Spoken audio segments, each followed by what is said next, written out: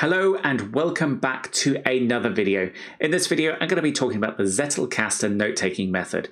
And if you're new to it and you're not familiar with what it is, this video is the one for you. And if you are familiar and you're just learning it, then I'll be diving into what it is, how it works, and giving you that information that I wish I had when I started learning this method. Now, if you've heard of smart notes before, it is pretty much the same thing. So Zettelkasten means slipbox in German, and it was created by the German sociologist Niklas Luhmann, who essentially would do lots of reading and created all these notes that embodied the works that he created from it.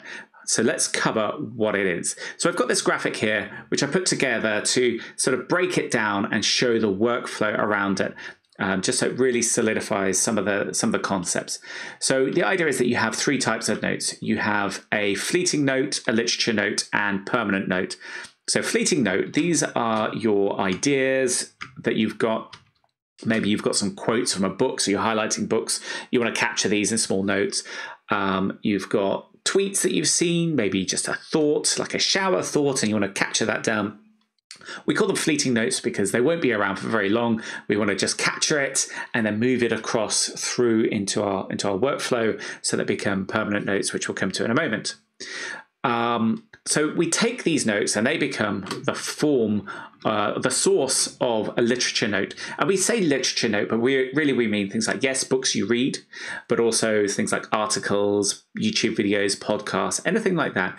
But a literature note is your represented understanding of that concept. So, for example, if I've read a passage, I've highlighted it.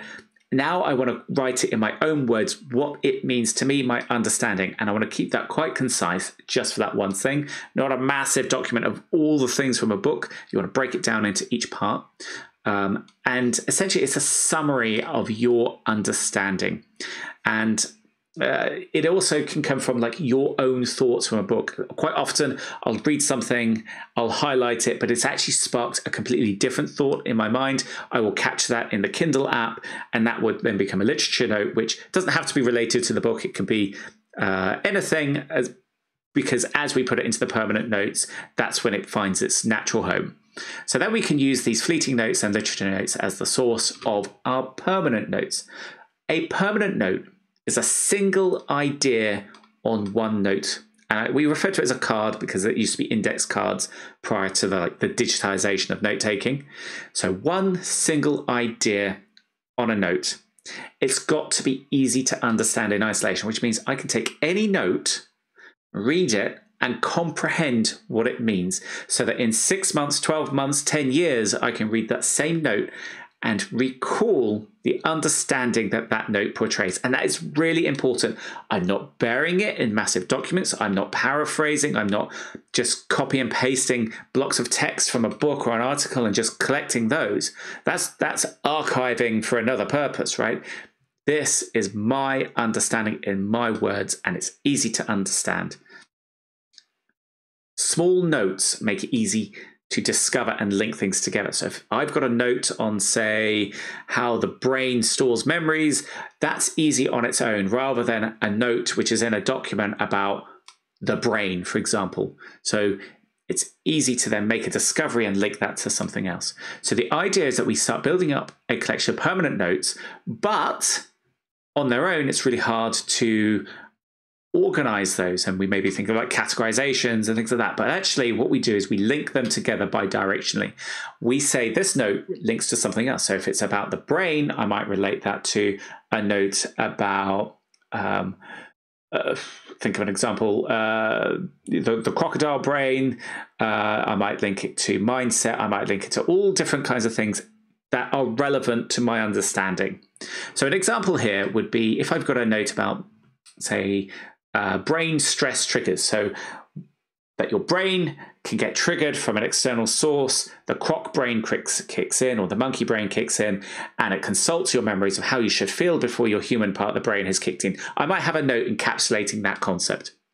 I then might have another note that talks about imposter syndrome, where someone gets anxious in a workplace environment, for example, feeling that they aren't worthy of being there and that they're an imposter and they haven't earned the credentials and all of that. Those two notes on their own are fine. You can understand them in, in their own context. But now imagine you bring them together, you can create a new insight. here's a brain that has an external trigger that causes your, your croc or monkey, monkey part of the brain to feel anxious because it's an emotionally driven thing, regardless of any logic here.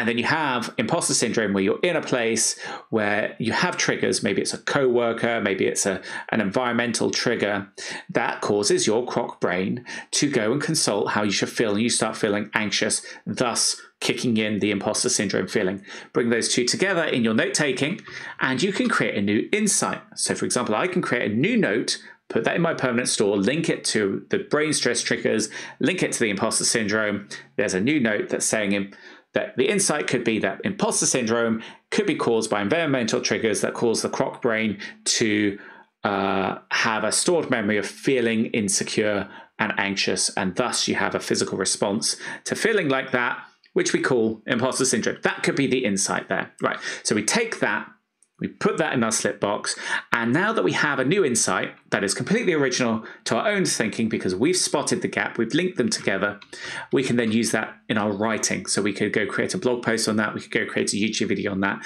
So if you're if you want to blog about things, if you want to create content about things, the great thing about the Zettelkasten is I have these two things I've put together, I've got an insight, I now have a topic to talk about.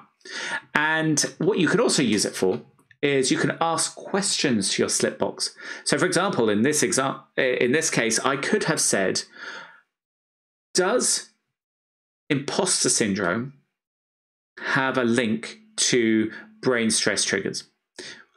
That would be a question. I can then pull the notes relating to those things and start correlating. Does that marry up with this?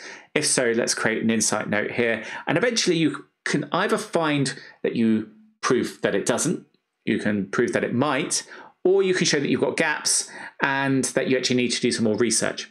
And the good thing about this, if you start answering these questions, you start coming up with these insights, you're not definitively saying these things are true or false. You're saying these are the insights. It could do with more research.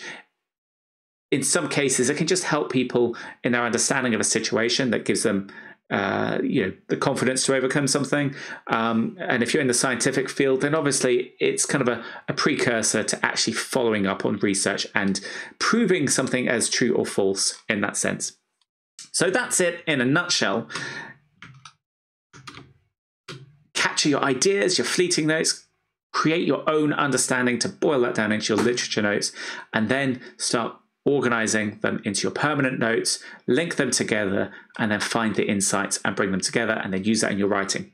So for me, this is a fantastic way of solving my problem of listening to lots of audiobooks and reading books and wanting to create understanding that I can come back to in 12 months time, 24 months time, to be able to create blog posts and YouTube videos on the subject. I think that's really good. I'm building my own note taking app that helps you do this with a view of being able to publish that work at the end, but also to help you do a little bit every day. Organize your fleeting notes, your literature notes, organize your permanent notes, do the studying, a little bit every day compounds over time.